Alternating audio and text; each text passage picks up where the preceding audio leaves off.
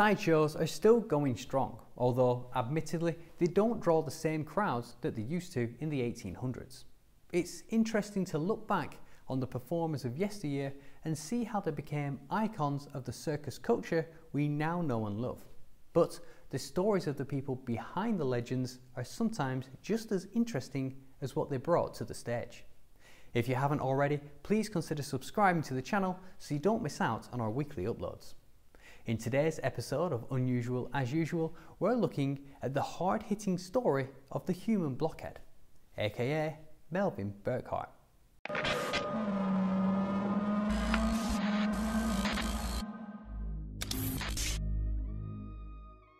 Clarence Melvin Burkhart was born on the 16th of February 1907 in Atlanta, Georgia. He dropped out of school in his early teens and moved to Kentucky where he worked as a Western Union boy.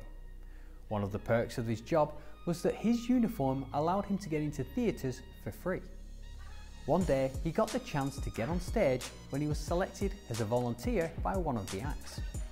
He walked up the theatre steps, onto the stage tripped up and the audience erupted in laughter.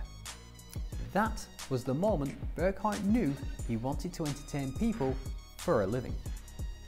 In 1927, at the age of 20, he joined a small one-ring circus.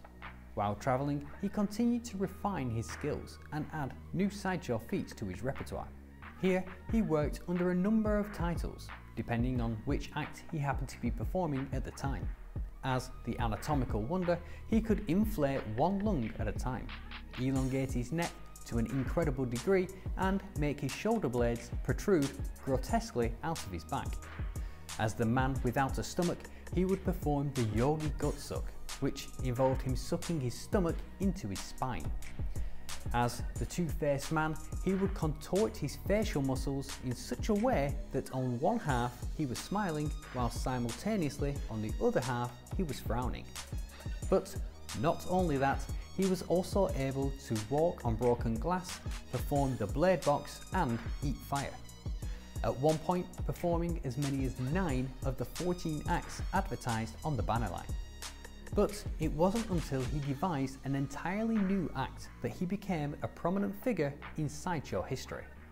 You see, as a young man, Burkhart had ambitions to become a prize fighter, so he became a boxer.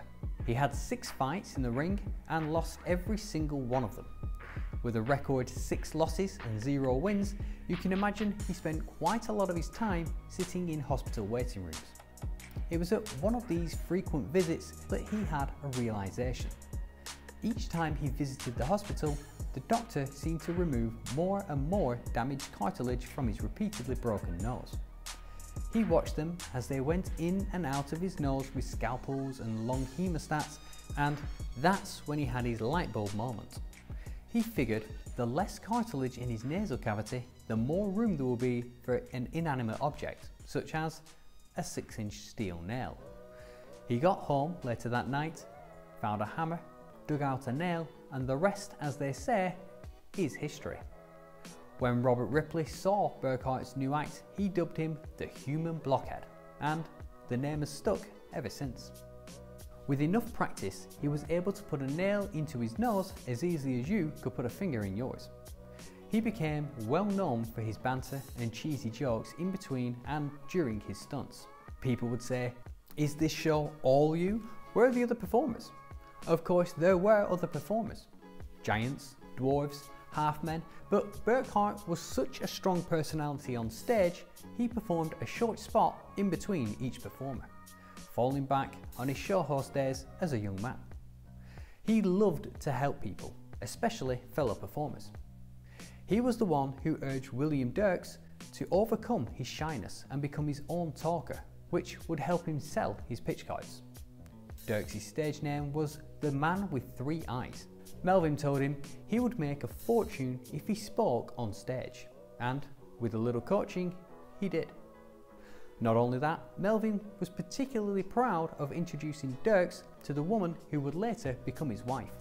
They were a match made in sideshow heaven, the three-eyed man, and the alligator girl. But that's a story for another time.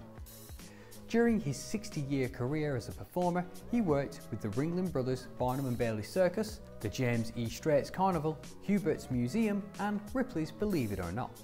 Later in life, while in his 80s, he worked at the Coney Island Sideshow. This is where he spent the last four years of his career.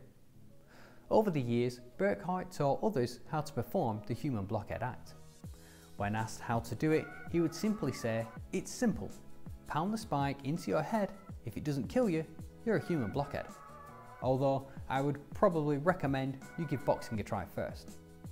Burkhart retired in 1989 but continued to perform for tourists and journalists right up until his death in 2001 at the age of 94. Any old bonehead can shove something up their nose, but Melvin's patter and comedy made it a staple act in the sideshow world. He helped those less fortunate than him and entertained those who were in need of entertaining. Even in death, Burkhart remains a source of constant inspiration to all who stumble across him, which can be seen in the performances of sideshow acts from around the world to the comfort of your own home on TV with The Simpsons. In fact, Melvin's act took quite a literal meaning in the 2003 indie horror film Nails by Andrei Iskanov about an unhinged KGB agent hearing voices which lead him to hammering nails into his skull, each nail driving him deeper into madness. And there we have it, the hard-hitting story of the human blockhead Melvin Burkhart. Since Melvin, there have been hundreds, if not thousands of blockheads, but he was the original. How about you? Do you think he had a bit of a screw loose, or was he a genius in his field? Let me know in the comment section below, and as always, don't forget to like and subscribe. That's all we've got time for today, but I'll see you all next week, and remember, stay unusual as usual. If you've enjoyed this video, you might like this one too. If you want to see more peculiar people, you can check out the full playlist by clicking here.